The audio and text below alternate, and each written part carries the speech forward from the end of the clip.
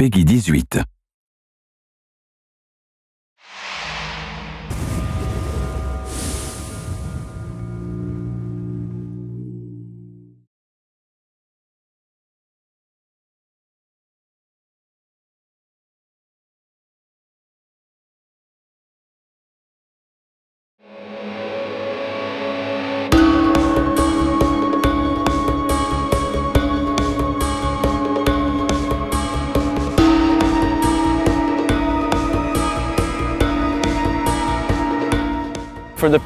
The past six months, we've been looking at reference like videos, images. What you see on those images is just static. So it doesn't show like the action. It doesn't show what's happening behind the scenes.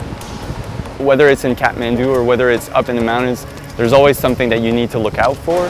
That kind of comes into that, that danger factor where you're never sure what you're gonna see, what you're gonna hear, what you're gonna encounter. For me, this is, this is truly awesome because that's basically the game that we're trying to build. We want the, the player to be kind of surprised on every corner, to see something, want to get there, uh, but never really sure of what, what he's going to find. Kyrat is the fictional Himalayan region that Far Cry 4 was tentatively using to describe its environment. The topography played well into informing how the game would be built. We're really big at giving options to the player. Basically, it's your game, your way. So you can go anywhere, approach any situation from any angle, use any type of weapons. So like having those footpaths go on or, or that main road, you could drive up and drive and shoot basically if you wanted. That thing in the trees sounds like some kind of high-pitched electrical whir from a distance. But then up close it was just horrible. We should try and figure out a way to put that in the game somewhere. Just makes you wonder what's inside that jungle. Yeah. I don't want to see it. Yeah, death probably. Death. Yeah. But yeah, the view from here is pretty amazing. We're just looking at those terraces over there. That's really the kind of feeling that we want to get. We want to get out of the standard uh, lush forest. This really stands out to me.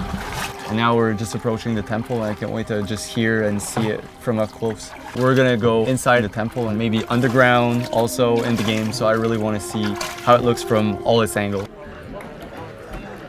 The Tal Barahi Temple is located in the middle of Lake Phewa.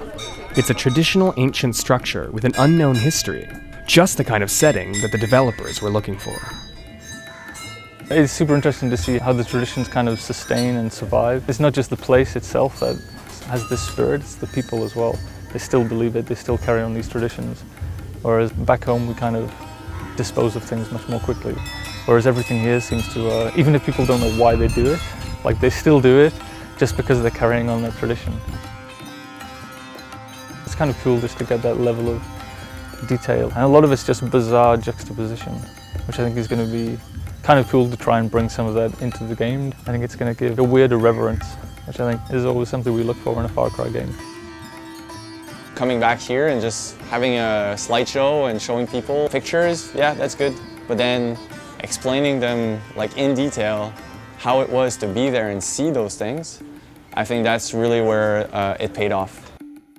It was a break between filming. I remember I saw this, there was a little old woman sitting on a step. I started filming her.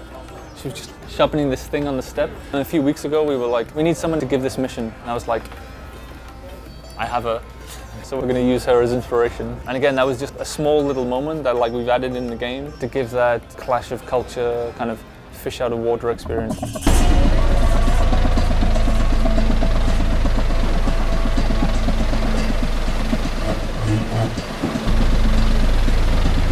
All right, so we decided to take this trip on the roof, sort of Nepali style, see if we can take in some more of the scenery.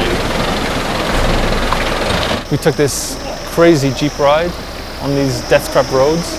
And uh, I remember seeing people on these huge rickety buses and thinking, these, these people are insane.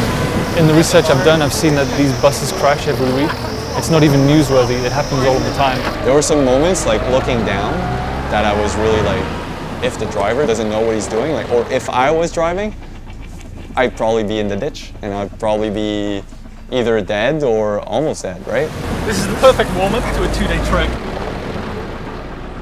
So on our way to the Guerrilla Trail, we've come across a road that's been washed out by a giant avalanche. So we're gonna have to take it by foot on what looks like a pretty sketchy trail.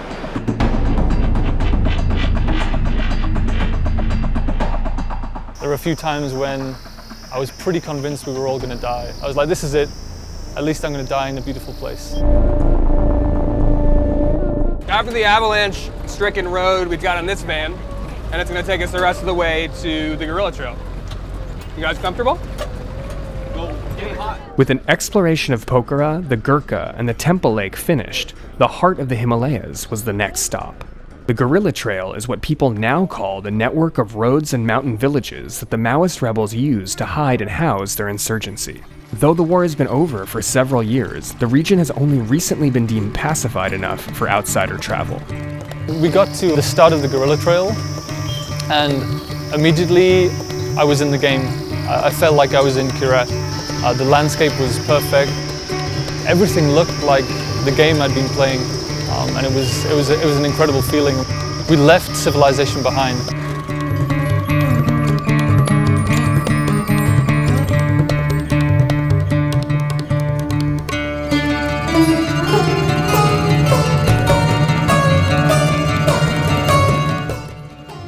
So it looks like we made it up to at least the end of the ascent, but we still have about half an hour before we reach the village.